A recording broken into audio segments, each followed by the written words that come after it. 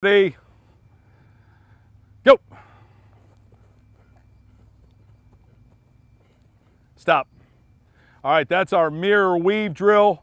In that particular drill, we're working the offensive lineman side to side with the rush. We got to be strong and maintain the line of scrimmage on the post. When they rush to our kick foot, then we can give ground and recover. All right, let's see that again. Offensive lineman, good pass that position. Defensive lineman, set, go.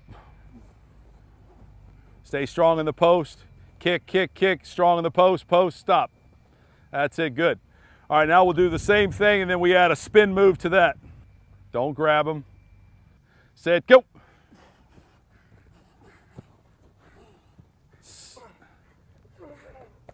That's it. Hold up, but see now you're not on the right side of him. You started on his inside and then you got to his outside and he spun and the quarterback's in there. Here we go. Give me two more guys. Set, go. There you go, good. Don't hold them. Open your hands up. Set, go. There you go, good.